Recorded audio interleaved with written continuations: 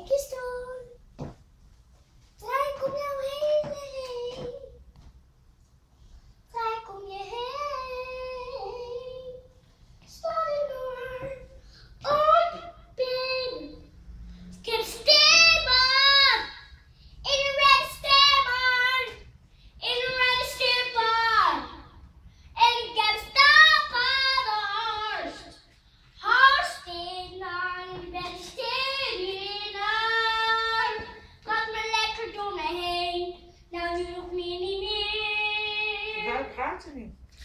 Waar gaat